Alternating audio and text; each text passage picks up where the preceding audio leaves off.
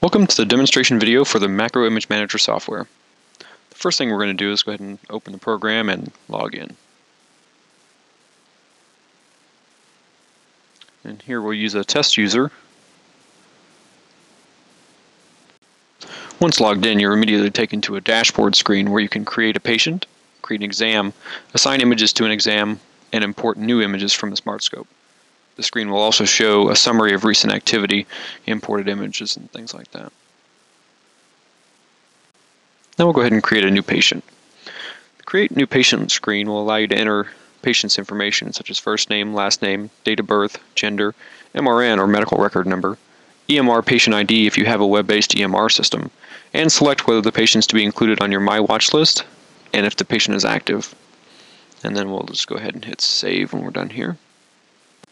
We're then taken to a new exam details screen. It's going to have our patient information up top, and then we're going to be able to select clinician, exam date, start, finish time, and then we'll just put a description in here, uh, patient info body mapping. You can add conclusions, and then we'll save and assign images. Now we'll go ahead and capture some images. Uh, first thing we'll show is turning on the illumination just by halfway pressing the button. Then we'll find a lesion on a patient's uh, skin. Go ahead and line it up so that your lesion is in the center. Do your autofocus and take the image. Once the image is taken, body map will come up asking what body region. Uh, here you can see we can select from head, torso, left arm, etc. So we can get very detailed on our body map. We'll take one more and uh, different body spots so we can select something different from our body map imaging.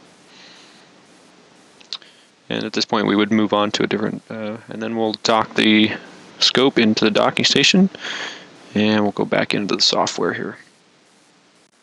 Now that the camera's on the dock, we'll be able to import our images by clicking the Import Images button. It'll go in searching for the Smart Scope. Uh, once it's found, it'll look and see how many files it has to download. Once uh, the process starts, the images are about 2 megabytes a uh, piece, so it may take a few seconds for each image uh, to be downloaded to the software. And it'll give you a little progress bar. Once it's uh, finished, it'll come up with a button and you click OK. Now that our images are imported into the software, we'll just uh, click select on each one of these images and then we'll go to the bottom and we can assign it to a patient and exam. Uh, when you select the patient, it's going to select the most recent exam and click Save. And Update Successful and click OK. Okay, now that we've got the images assigned to a patient, we'll just go over to My Watch List, open the patient, and on the right you're going to see the uh, patient's information, and any exams that have been completed uh, down at the bottom. We can go ahead and open the exam or click on it down on the right open it by date. Each uh, record will have one date listed. And then uh, if there were multiple exams on one date, you'd also have multiple records there. Uh, here we're going to see the information we entered earlier uh, in the new exam window. So now we'll just drop down the image details window. Um, you can see the two images that we imported. First of all, we'll go to the body map and show you um, the information in the camera that we selected for body map region did come over and auto-populate on the body map image. If we click on one of those, we can see the images that we imported for each region. Go ahead and click on one and it'll take us into editing mode. Here we're going to be able to do a couple of things uh, from an editing standpoint. We can select a new body side and new body region and save that information to our body map. We can also do annotations and measurements. By measurements, we can uh, click on the left-hand side of the lesion on the right, and it'll do an automatic measurement for us. Only the Smart Scope with the Macro Image Manager software has the ability to do the measurements automatically. Um, and that's because we're going to be at a set zoom rate every time we take an image. Go ahead and save the annotations. And then the other things we can do are a little bit of manipulation. If we needed to help uh, finding the borders, we could uh, kind of mess with some of the saturation, hue, uh, lightness, etc.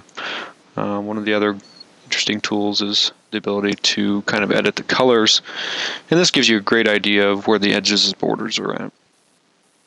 And we can just reset and anything that hasn't been saved onto the image will be reset.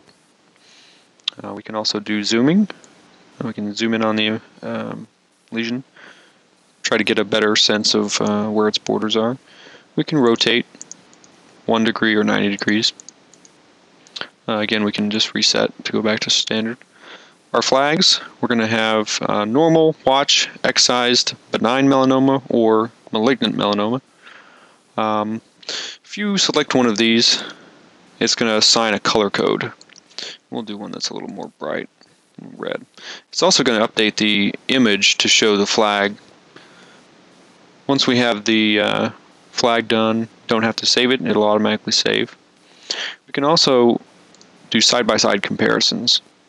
If we had a lesion that uh, was from day zero and then we took one uh, 90 days out, we'd be able to look at them side by side and see if there was any change that's noticeable. Again, since we're using the same brightness level and the same um, zoom level every time, we should be able to get a very good sense of whether anything has changed.